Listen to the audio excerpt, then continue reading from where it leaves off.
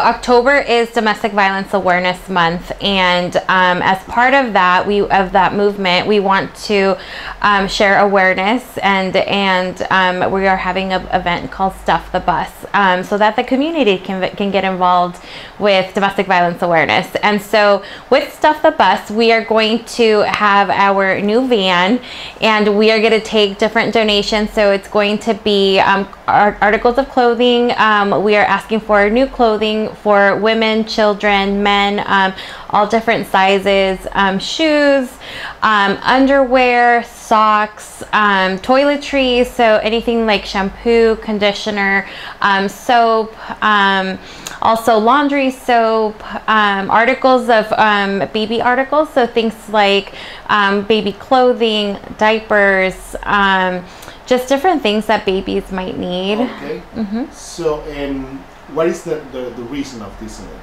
So the whole reason of this event is to share awareness of domestic violence with our community because we hold a huge responsibility to make sure our community understands that there there is an issue of domestic violence.